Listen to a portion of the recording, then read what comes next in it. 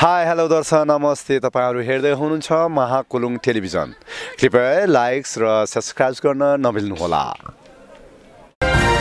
विश्वको सर्वोच्च धरातलको आवाज महाकुलुङ अनलाइन टेलिभिजन।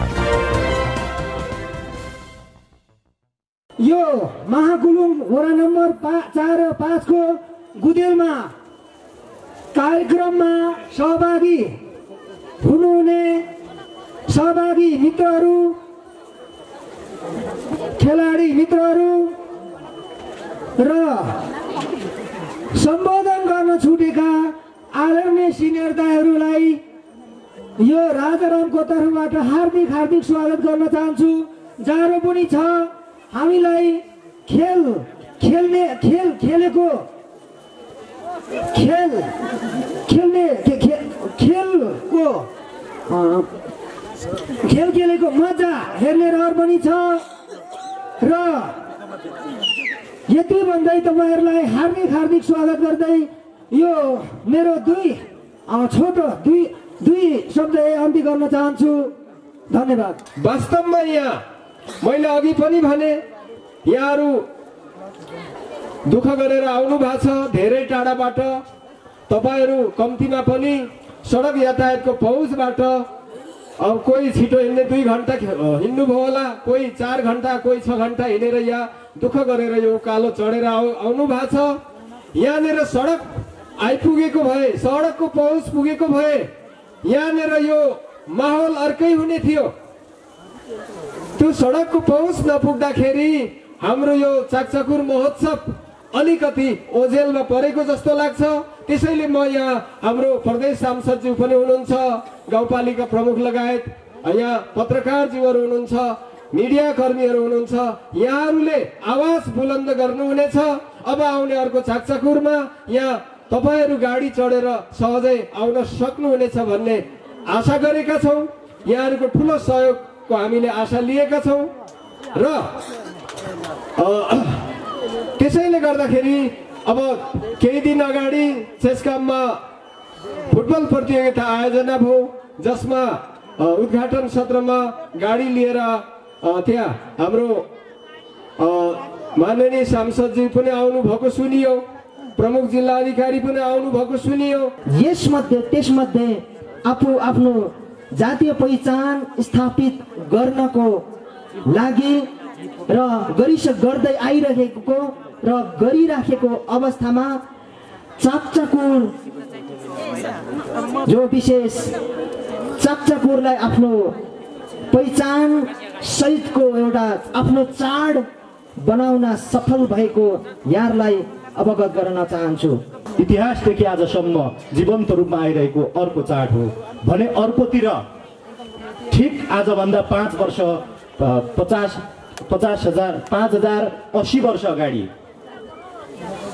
यो नेपाल भन्ने देशमा किराँत वंशहरूको पहिलो राजाका रूपमा किराँती राजा एलम्बरले यो देशमा शासन सुरुवात गरेका थिए र बत्तिस पुस्तासम्म किराँतीहरूले यो देशमा शासन गरेका थिए र त्यो शासन सुरुवात भएको दिन र त्यही दिनलाई हामीले एलेदोङ अर्थात् एलेसम्मका रूपमा मानिरहेको नयाँ वर्ष पाँच हजार असीको शुभकामना आदान प्रदानका सन्दर्भमा। यी तिनवटा सन्दर्भमा यो कुलुङ जातिहरूको महान चाड मिनारी जाताम दाचाम चाकचापुरको रूपमा आएको छ भन्ने मलाई लाग्दछ। यसो भन्दै गर्दा कुलुङ जातिहरू मैले देखेको कुलुङ जातिहरू एकदमै अनेस्ट इमान्दार र श्रममा विश्वास गर्ने श्रमजीवी पौरखी मेहनती कुलुङ जातिहरू हुनुहुन्छ। र कुलुङ जातिहरूभित्र सोलुखुम्बु जिल्लामा यो महाकुलुङ क्षेत्र कुलुङ जातिहरूको बाहुल्यता भएको क्षेत्र हो। कुलुङ जातिको सन्दर्भमा अघि सुरुमा जसले यहाँ शुभका हामीलाई स्वागत मन्तव्य राख्नुभयो उहाँले केही राजनीतिक सन्दर्भहरू यहाँ उठाउनु भएको छ। हुन त म यहाँ कुनै राजनीतिक सन्दर्भ उठाएर तपाईँहरूको बिचमा लामो समय खर्चिने पक्षमा छैन तर के भन्नुपर्छ भने कुलुङ जातिको सूचीकरणको मुद्दा आज पनि बहसकै क्रममा छ। धर्म संस्कृति रीतिरिवाजको कुरा लगायत हाम्रा यो महाकुलुङको विकासको कुरा जिल्लाको कुरा राष्ट्रको विकासको सवालमा छलफल बहस पक्कै हुन्छ। तर म त्योतर्फ जान चाहन्न सिर्फ एउटै कुरा मात्रै एउटै मात्रै विषय उठान गर्छु। मलाई के लाग्छ भने त्यो विषय यदा कदा उठ्दैन तर सुसुप्त अवस्थामा यो महाकुलुङमा रहेको छ। एउटा अङ्ग्रेजी विद्वानले भनेको छ कुनै बेला मानव सभ्यताको विकास क्रममा यो समाजमा सिकारी युग थियो भने अझै पनि कुलुङ समुदायमा हेर्न सकिन्छ। हामीले अझै पनि शिकार गरेर देवतालाई बुझाउनु पर्ने चलन यथावत छ। त्यो अनिवार्य गर्नुपर्ने हुन्छ। ए पा मा चाहिँ बुवा चाहिँ नाना चाहिँ नेछो चाहिँ सेवाके कोन प्रकाश कार्की के? नेपाली काङ्ग्रेस मी नेता। सेवाके कोङ ऐसे अनिशिका नेङचाम तुङचाम अवसर तुक्पी खुसी छुयो चौके ओलनुओ खोलङ चक्चाकुर्मी अवसर पी खुसी छुई चाइ नुओ सेवाके कुलुङ जाति मी महान चाड मिनारी दाचम चान्चुलो लिङदोङ फाइङ चकचाकुर पाँच हजार अस्सी पाँच हजार अस्सी वर्षमी अवसर पी खोलोङतुङ तेलपचुच साथीभाइ कोङ प्रकाश सिंह मी तर्फला पार्टीको तर्फला शुभकामना के ओलोनु हो मैले सानो कुरा राख्नुपर्ने हुन्छ। अघि पूर्ववक्ता साथीहरूले पनि भनिसक्नुभयो यो मेरो पहिलो चाकचाकुर प्रोग्राममा म यो दोस्रोचोटि यो गुदेल साबिक गुदेल गाविसमा आएको छु र म पहिला चुनावको बेला आएको थिएँ अहिले आएको छु तर मैले काठमाडौँमा भएको चाकचाकुर दुईवटा मैले एटेन्ड गरेको छु तर यहाँ एकदम खुसी पनि लाग्यो फरक्कै किसिमको पनि पाएको छु। त्यसकारण पूर्ववक्ता मित्रहरूले भन्नुभयो फेरि अर्कोचोटि आउँदा यो ठाउँमा सरासर मोटरबाट आउन पाऊँ यहाँ प्रदेश सांसद पनि हुनुहुन्छ र यही पालिकाका अध्यक्षज्यू पनि हुनुहुन्छ। उहाँहरूलाई म विशेष अनुरोध गर्दछु किनभने यो यो एरियामा यही ठाउँ मात्रै मोटर बाटोबाट मोटर बाटोको पहुँचमा छैन। त्यसकारण तपाईँहरू दुवैजनालाई म विशेष अनुरोध गर्दछु। अर्कोचोटि आउँदा यहाँ चाहिँ मोटरले मोटरले आउन पाऊँ र मोटर बाटोबाट सरेर आउन पाऊँ कुलुङ हुमा मेरो जाति राई होइन। कुलुङ हुमा मेरो जाति राई होइन जन्म दिने बुवा आमा भाउजू दाई होइन। हिजोसम्म हिजोसम्म राष्ट्रिय जनावर माने पनि हिजोसम्म राष्ट्रिय जनावर माने पनि अब गैडा हुनुपर्छ। गोरु गाई होइन अब गैडा हुनुपर्छ। गाई होइन। यी मुक्तका हरफहरूले भने चाहिँ गाईले गोरुले निकै नै आम आदिवासीहरूको संस्कार संस्कृतिमा पक्कै पनि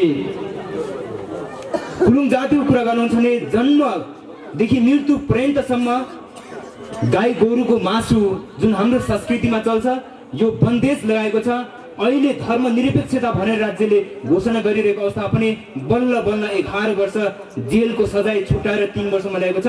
यो मान्नेवाला कुलुङ जातिलाई छैन र आम आम आदिवासीलाई पनि छैन। यो राज्यले तत्कालै यस्ता खालको आदिवासीको एउटा चाहिँ संस्कार संस्कृतिमाथि हेम्पर हुने खालको जुन क्रियाकलापहरू छन् त्यसलाई सचाओस् म आह्वान र आग्रह गर्न चाहन्छु। तिनै तहको सरकारले ज्यादै गम्भीरता बोधको साथ जिम्मेवारी बोधको साथ चाहिँ अब चाहिँ भौतिक पूर्वाधारको विकास र मानव संसाधनको विकास र सुशासनको विकासको माध्यमबाट चाहिँ अब चाहिँ यो देशको मुहार फेर्ने र सम्पूर्ण नेपालीहरूको मुहारमा खुसी ल्याउने र सबैलाई चाहिँ अब चाहिँ सुख शान्ति र रोजगार सम्पन्न बनाउने अभियान अ, को नेतृत्व हाम्रो पार्टीको सरकारले गरिरहेको छ। र यसको सँगसँगै हामीले चाहिँ अब चाहिँ ज्यादै तिक्तताको साथ भन्नु पनि पर्ने अवस्था छ कि यो अभियान सञ्चालनको क्रममा पहिलो नम्बरमा सङ्घीयता कार्यान्वयनको क्रममा छौँ। सङ्घीयता कार्यान्वयन भनेको चाहिँ एउटा एउटा यस क्रममा हामी सबै नौलो छौँ। त्यसकारण नयाँ नयाँ व्यवस्था अनुसार सबै कार्यक्रमहरू नयाँ कानुन बनाएर कार्यान्वयन गर्नुपर्ने अवस्था छ। त्यसकारण कानुन बनाउ बनाउँदै कार्यान्वयन गर्ने प्रक्रियामा सरकार तीव्र गतिमा चाहिँ लागिरहेको अवस्था छ र यसको सँगसँगै योभन्दा अगाडिको सरकारहरूले चाहिँ अब चाहिँ गरेको चाहिँ अब चाहिँ नराम्रो कामहरू योभन्दा अगाडिको सरकारहरूले नीतिगत रूपमा थुपारेको चाहिँ फोहोरको डङ्गुरहरू पन्साएर चाहिँ नयाँ काम आरम्भ गर्नको लागि धेरै गाह्रो कष्ट भइरहेको छ। यद्यपि हाम्रो सरकारले निरन्तर जनताप्रतिको जिम्मेवारी बोधको साथ अगाडि बढिरहेको छ। मनु इन्जिन बाबु मयुर म युवा विमोचन कार्यक्रम दुई हजार छयत्तर साल पौष पन्ध्र गते धन्यवाद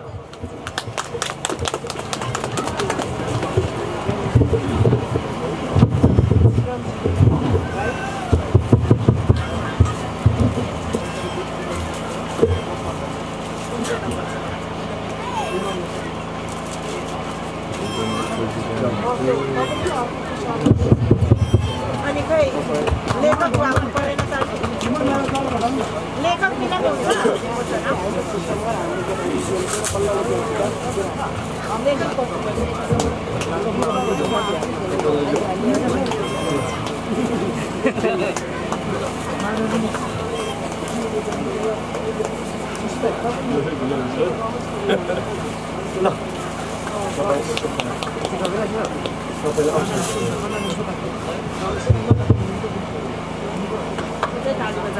सबैजनाले तालीद्वारा पनि सहयोग गरिदिनु म अनुरोध गर्न चाहन्छु। पुस्तक विमोचन भइसकेको छ। प्रमुख अतिथि लगायत सोलो साहित्यिक मञ्चका उपाध्यक्षज्यूबाट यो कुलुमहरूको महान चाडलाई राष्ट्रले पनि प्राथमिकता दिइराखेको हुनाले म धेरै खुसी छु हर्षित छु। र अर्को कुरा तपाईँहरूलाई म के जानकारी गराउन चाहन्छु भने म काठ काठमाडौँमा हाम्रा नेकपाका नेता आदरणीय सङ्कल्प किराँती विकेन्द्रजीसँग हामी कुलुङसम्म भवन पनि बनाइ बनाइसकेका छौँ। त्यसमा सहयोग नेपाली काङ्ग्रेसले मात्र होइन नेकपाका साथीहरू पनि गर्नु भएको छ कार्जेनजीहरू हेटौरा जानु भएर उत्तम दाईहरूले फोन गरिदिनु भएर के अरे हाम्रा सुरवीरजीहरूले फोन गरिदिनु भएर हामीलाई दोस्रो तालाको लागि पच्चिस लाखको पहल गरिदिनु भएको छ। त्यसको लागि नेकपाका साथीहरूलाई पनि म धन्यवाद दिन चाहन्छु। त्यस्तै गैर कुलुङ भएर पनि प्रकाश सिंह कार्कीले एक लाख सात हजार दिनुभएको छ। उहाँलाई पनि म धन्यवाद दिन चाहन्छु कुलुङहरूको तर्फबाट। त्यस्तै म सम्पूर्ण कुलुङहरूको तर्फबाट म के भन्न चाहन्छु भने अब महाकुलुङलाई हामीले विश्वभरि चिनाउनु पर्छ। त्यो चिनाउनुको लागि के गर्नुपर्ने त? भन्दाखेरि अहिलेका जननिर्वाचित यो महाकुलुङका आदरणीय साथीहरूले निष्पक्ष रूपमा तलतिरको रोड नबिर्सिनुहोस् है। यो हाम्रो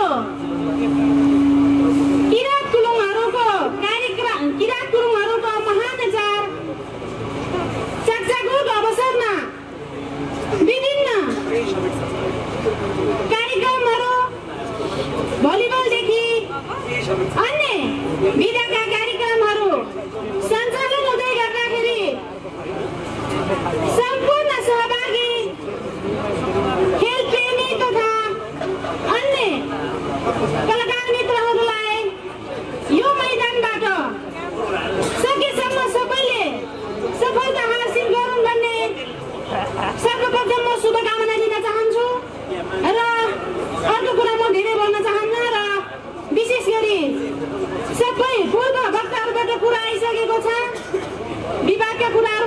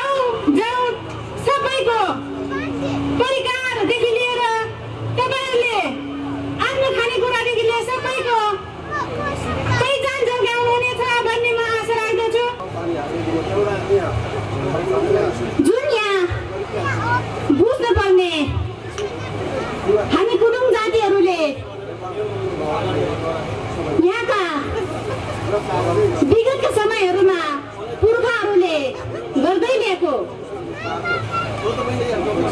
आफ्ना भाषाभाषीदेखि लिएर सबै कुराहरूमा जान्नुपर्ने आवश्यकता छ अहिलेलाई हामी विशेष चकचकुर मनाउने अवसरमा पार्दै ल्याउँदाखेरि गर्नु पर्दाखेरि हामीले पनि आफ्नो भाषाहरू जानेको छैनौँ विगतका समयहरूमा मनाउँदै ल्याएको आफ्नो धर्म कर्म हामीले गर्न जानिरहेको छैनौँ जुन आजको पूर्वोक्त मित्रहरूले भन्दै ल्याएको हामीले सुन्न पाएका छौँ यसमा हामीले पनि जुन नयाँ ज्ञानहरू सुनिरहेका छौँ यसलाई निरन्तर दिनका निम्ति विभिन्न कुलुङ जातिहरूले एउटा पाठ्य पु- प- पा- पाठ पुस्तक नै बनाउनु पर्ने आवश्यकता देखिएको छ र जुन अहिले अहिलेलाई यहाँका यो वेशभूषालाई निरन्तर दिनुपर्ने पनि आवश्यकता छ यो महाकुलुङ भनेको अघि यहाँ कुलुङ केन्द्रीय सङ्घका जो यहाँ चाहिँ उपाध्यक्षज्यूले जो राख्दै गर्नुभएको थियो कि यो कुलुङ अर्थात् महाकुलुङ भनेको के हो? अर्थात् महाकुलुङ भन्ने जुन यो चाहिँ एउटा यसप्रतिको बुझाइ के छ भन्ने किसिमका जो यहाँ चाहिँ केही क्वेसनहरू पनि यहाँ रेज भइरहेको थियो। पक्कै पनि यो महाकुलुङ भनेको एउटा यो भनेको भूगोल हो।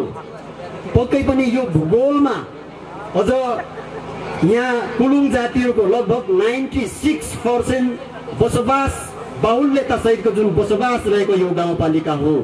हो यो गाउँपालिका अन्तर्गत शेर्पा जातिहरू हुनुहुन्छ तामाङ जातिहरू हुनुहुन्छ र यसै गरी यसभित्र दलितहरू दलितमा जुन कामी र दमाई जो उहाँहरू हुनुहुन्छ र त्यसपछि नाचिरिङ र खालिङ केही एकदमै सीमित पर्सेन्टमा हुनुहुन्छ र त्यसैले नाइन्टी सिक्स एभब पर्सेन्ट भनेको यो गाउँपालिकामा कुलुङ जातिहरूको एउटा बाहुल्यता रहेको गाउँपालिका हो र यो गाउँपालिका अन्तर्गत जति पनि अन्य गैर कुलुङ जातिहरू हुनुहुन्छ उहाँहरूले पनि यो आफ्नो एउटा थाक ठुलो हो आफूले यहाँ बसोबास गर्न पाउने आफ्नो जुन यहाँको स्वतन्त्र अधिकार छ आत्मसम्मान छ स्वाभिमान प्रतिको जुन एउटा सम्मान छ सौहार्दता छ हार्दिकता छ यी जाति यी भाषी र समुदायहरूको एउटा यो चाहिँ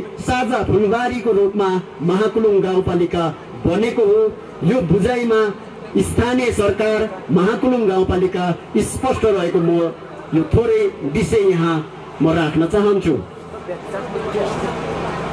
र यसै अवसरमा जो यो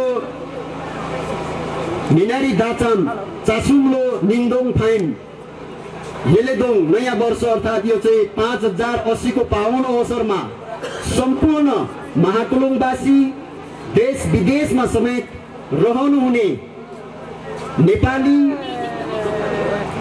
कुलुङ जातिहरू लगायत सम्पूर्ण नेपाली आमा बुवा दाजुभाइ एवं दिदीबहिनीहरूलाई सुख सुस्वास्थ्य खुसी र उत्तर उत्तर प्रगतिको म कामना समेत व्यक्त गर्न चाहन्छु। यो कार्यक्रम आउँदा के अनुभूति भयो? किन होला? के होला भन्ने कुराका धेरै चर्चा परिचर्चा भइरहेको छ। सर्वप्रथम त हामी कुलुङ जातिहरू मिनारी ताछौँ भनेको यसको सरोकार मुख्य कुरो चाहिँ हामी प्राकृतिक पूजकहरूको चाड भएको हुँदा योसँग प्रकृतिसँग गाँसिएको छ। र मलाई लाग्छ प्राकृतिक पूजकहरूले जसले जीवन दियो त्यो देउता भयो।